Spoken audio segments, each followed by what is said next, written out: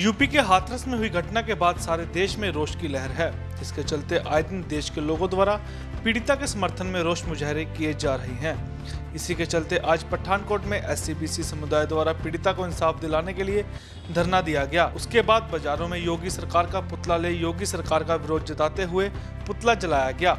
इस संबंधी जब प्रदर्शनकारियों से बात की गई तो उन्होंने कहा कि योगी सरकार द्वारा आरोपियों को बचाने के लिए कार्रवाई नहीं की जा रही।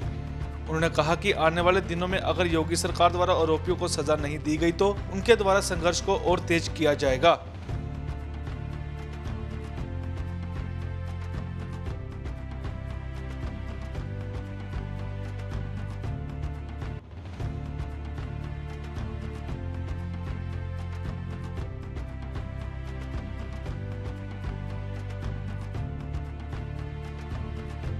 ਜੈ ਭੀਮ, ਜੈ ਭਾਰਤ। ਮੈਂ ਭਾਗੂ ਰਾਮ ਪ੍ਰਧਾਨ, ਡਾਕਟਰ ਅੰਬੇਡਕਰ ਵੈਲਫੇਅਰ ਮਹਾਂ ਸੰਗਠਨ ਐਂਡ ਪ੍ਰਧਾਨ ਸਤਿਗੁਰ ਕਬੀਰ ਸਾਹਿਬ ਵੈਲਫੇਅਰ ਸੁਸਾਇਟੀ, ਜੋ ਕਿ ਯੂਪੀ ਦੇ ਹਾਥਰਸ ਵਿੱਚ ਜੋ ਇੱਕ ਬਾਲਮਿਕੀ ਲੜਕੀ ਨਾਲ ਬਹੁਤ ਹੀ ਅਤਿਆਚਾਰ ਹੋਇਆ ਹੈ।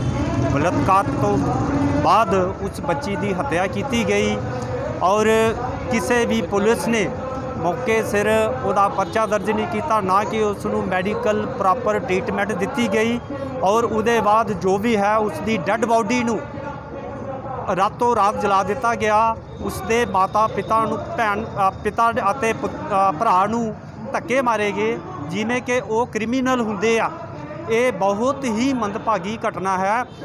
ਚਾਹੇ ਧੀ ਭੈਣ ਕਿਸੇ ਦੀ ਵੀ ਹੋਵੇ, ਕਿਸੇ ਜਾਤ ਮਜਹਬ ਨਾਲ ਵੀ ਸੰਬੰਧ ਕਰਦੀ ਹੋਵੇ, ਮੈਂ ਇਸ ਜੋ ਵੀ ਘਟਨਾ ਹੋਈ ਹੈ ਇਹਦੀ ਪੂ- ਪੁਰਜੋਰ ਨਿੰਦਾ ਕਰਦਾ, ਪੂਰਾ ਹੀ ਸੰਗਠਨ ਸਾਡਾ ਨਿੰਦਾ ਕਰਦਾ।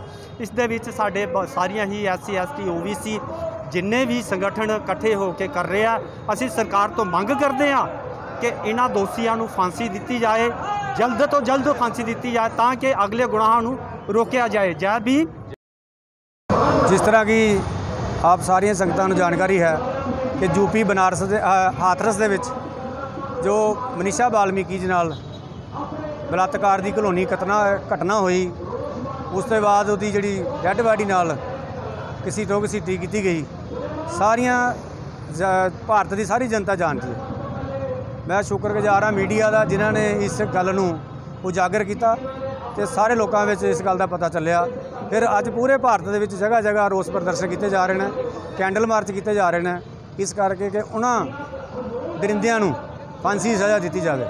ਉਸ ਦੇ ਸੰਬੰਧ ਵਿੱਚ ਵੀ ਅੱਜ ਅਸੀਂ ਪਠਾਨਕੋਟ ਦੇ ਵਿੱਚ ਡਾਕਟਰ ਅੰਬੇਡਕਰ ਵੈਲਫੇਅਰ ਮਹਾਸੰਗਠਨ ਦੇ ਝੰਡੇ ਥੱਲੇ ਇਕੱਠੇ ਹੋ ਕੇ ਪਠਾਨਕੋਟ ਡਿਸਟ੍ਰਿਕਟ ਦੀਆਂ ਸਾਰੀਆਂ ਹੀ ਐਸਸੀ ਬੀਸੀ ਓਬੀਸੀ ਧਾਰਮਿਕ ਅਤੇ ਸਮਾਜਿਕ ਸੰਸਥਾਵਾਂ ਨੇ ਅੱਜ ਰੋਸ ਪ੍ਰਦਰਸ਼ਨ ਕਰਨ ਦਾ ਇੱਕ ਉਪਰਾਲਾ ਕੀਤਾ ਹੈ, ਜੋ ਕਿ ਅਸੀਂ ਪੂਰੇ ਸ਼ਹਿਰ ਦੇ ਵਿੱਚੋਂ ਚੱਲਦੇ ਹੋਏ ਭਗਵਾਨ ਵਾਲਮੀਕ ਚੌਂਕ ਤੋਂ ਡਾਕਰਨਾ ਚੌਂਕ ਡਾਕਰਨਾ ਚੌਂਕ ਤੋਂ ਗਾੜੀ ਹੱਥ ਚੌਂਕ ਤੇ ਲਾਈਟਾਂ ਵਾਲੇ ਚੌਂਕ 'ਚ ਆ ਕੇ ਜੋਗੀ ਸਰਕਾਰ ਦਾ ਪੁਤਲਾ ਫੂਕਾਂਗੇ। ਉਸ ਤੋਂ ਬਾਅਦ ਇਸੇ ਹੀ ਜਗ੍ਹਾ ਤੇ ਆ ਕੇ ਭਗਵਾਨ ਬਾਲਮੀਕ ਚੌਂਕ ਦੇ ਵਿੱਚ ਹੀ ਸਮਾਪਤ ਕੀਤੀ ਜਾਵੇਗੀ। ਸਾਡੀ ਸਾਰੀਆਂ ਸੰਸਥਾਵਾਂ ਵੱਲੋਂ ਸਰਕਾਰ ਨੂੰ ਪੂਰ ਜ਼ੋਰ ਮੰਗ ਹੈ ਕਿ ਉਹਨਾਂ ਕਾਤਲਾਂ ਨੂੰ ਫਾਂਸੀ ਦੀ ਘੱਟੋ ਘੱਟ ਫਾਂਸੀ ਸਜ਼ਾ ਦਿੱਤੀ ਜਾਵੇ। ਅੱਜ ਦਾ ਜਿਹੜਾ ਇਹ ਰੋਸ ਪ੍ਰਦਰਸ਼ਨ ਆ, ਕਿ ਸਾਡੀ ਬੇਟੀ ਮਨੀਸ਼ਾ ਜਿਹੜੀ ਆ, ਉਹਦੇ ਨਾਲ ਇੱਕ ਕਾਇਰ ਹਰਕਤ ਹੋਈ ਆ ਕਿਦੀ ਜੀ, ਜਿਹਦੀ ਮੌਜੂਦਾ ਸਰਕਾਰ ਆ ਜਿਹੜੀ ਉਹ ਯੋਗੀ ਸਰਕਾਰ, ਉਹਦੇ ਮਾਧਿਅਮ ਦੇ ਵਿੱਚ ਇਹ ਘਟਨਾ ਘਟੀ ਆ।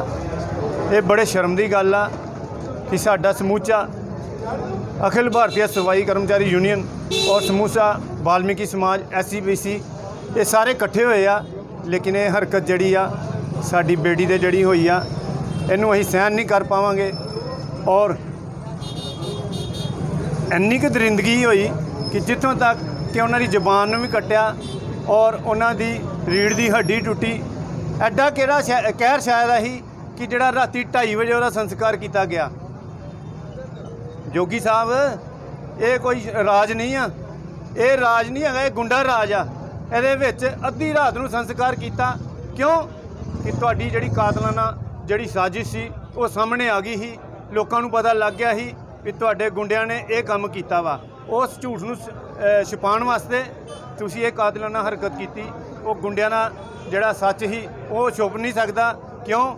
ਕਿ ਮੈਂ ਪ੍ਰੈਸ ਦੇ ਮਾਧਿਅਮ, ਮੈਂ ਏਬੀਪੀ ਨਿਊਜ਼ ਔਰ ਬਾਕੀ ਚੈਨਲਾਂ ਦਾ ਬੜਾ ਧੰਨਵਾਦੀ ਹਾਂ ਕਿ ਜਿਨ੍ਹਾਂ ਨੇ, ਉਹ ਬੇਟੀਆਂ ਨੇ, ਪ੍ਰੈਸ ਵਾਲੀਆਂ ਨੇ ਇੰਨਾ ਸਾਥ ਦਿੱਤਾ ਔਰ ਸਾਡੇ ਸਮਾਜ ਦੀ ਜਿਹੜੀ ਬੇਟੀ ਆ, ਉਹਦੇ ਘਰ ਤੱਕ ਜਿਹੜੇ ਸਾਡੇ ਲਿੰਕ ਬਣੇ ਔਰ ਸਾਡੇ ਜਿਹੜੇ ਆਪਣੇ ਚੰਦਰ ਸ਼ੇਖਰ ਜੀ, ਭੀਮ ਆਰਮੀ ਦੇ ਸੀ, ਉਹਨਾਂ ਦੇ ਅਸੀਂ ਬਹੁਤ ਧੰਨਵਾਦੀ ਹਾਂ ਕਿ ਜਿਨ੍ਹਾਂ ਨੇ ਇੰਨੀ ਹਿੰਮਤ ਕਰਕੇ ਉਸ ਬੇਟੀ ਦੇ ਘਰ ਗਏ, ਉਹਦਾ ਦੁੱਖ ਦਰਦ ਸਮਝਿਆ ਔਰ ਉਹਦੇ ਦੁੱਖ ਦਰਦ ਨੂੰ ਜਾਣਿਆ, ਉਹਦੇ ਨਾਲ ਜੋ ਵੀ ਸ਼ੋਕ ਸਭਾ, ਸ਼ੋਕ ਸੰਤੇਸ਼ ਕੀਤਾ, ਲੇਕਿਨ ਸਾਡਾ ਔਰ ਸਾਡੇ ਅਖਿਲ ਭਾਰਤੀ ਸਫ਼ਾਈ ਮਜ਼ਦੂਰ ਯੂਨੀਅਨ ਵੱਲੋਂ ਔਰ ਪਠਾਨਕੋਟ ਦੀ ਸਾਰੀ ਸਮੂਹ ਵਾਲਮੀਕੀ ਬਰਾਦਰੀ ਔਰ ਐਸਸੀਬੀਸੀ ਭਾਈਚਾਰੇ ਵੱਲੋਂ ਮੈਂ ਇਸ ਚੀਜ਼ ਨੂੰ ਮੱਦੇ ਨਜ਼ਰ ਰੱਖਦੇ ਪ੍ਰੋਟੈਸਟ ਕਰਨੇ ਆ ਅਸੀਂ।